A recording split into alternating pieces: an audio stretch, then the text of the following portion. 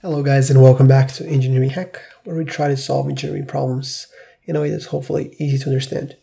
I could not help myself but to tackle this problem because, you know, I was going back into um, Daniel Kahneman's book um, after the previous problem. If you haven't checked it, it's um, right here on the corner for you. I'm going to leave it there for you.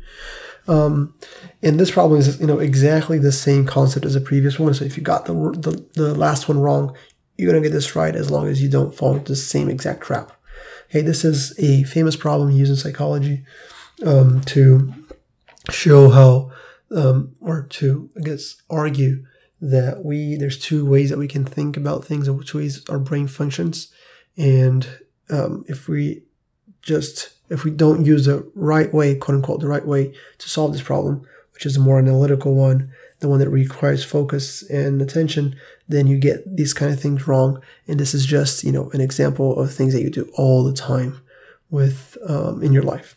So this problem here is the bat and ball problem, and it says that the bat, a bat um, it reads like so: a bat and ball together costs a dollar and ten cents. The bat costs one dollar more than the ball how much does a ball cost? Okay, and going straight to the problem, what you think is, you know, if it's one uh, 1.1 together and one is one dollar more than the other one, then it should be 10 cents, right? The ball should cost cost 10, 10 cents, but that would be incorrect because if the ball costs 10 cents and the um, and the bat costs one dollar more than the ball, then together they won't be one and 10, right? It won't be one and 10. Um, one thing's going to be incorrect. So if the ball were to cost 10 cents as you know our immediate answer uh, is then we're going to see okay so if this is the case then um, because the bat costs one dollar more than the ball then the bat's going to cost one and 10 and therefore the sum of the two is going to be one dollar and 20 cents and that is not what was said here right?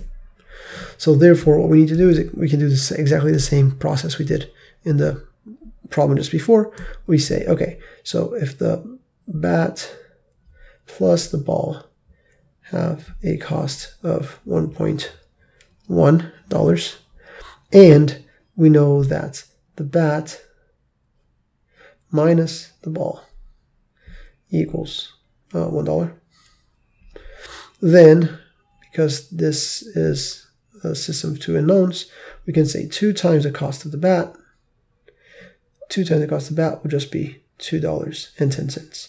So therefore, the cost of the bat is just half of that. So that's 1, that's half, so that's 1.05. Okay, so 1.05 is how much the bat costs. And if that's the case, then um, we can go back here, or let's go back here, and say, okay, if that's the case, then therefore the ball will be 1.1 minus whatever the bat costs. And I'm obviously struggling here with the size of my marker. Minus whatever the bat costs. And we just found out that the bat actually costs 1.1, um, 1.05.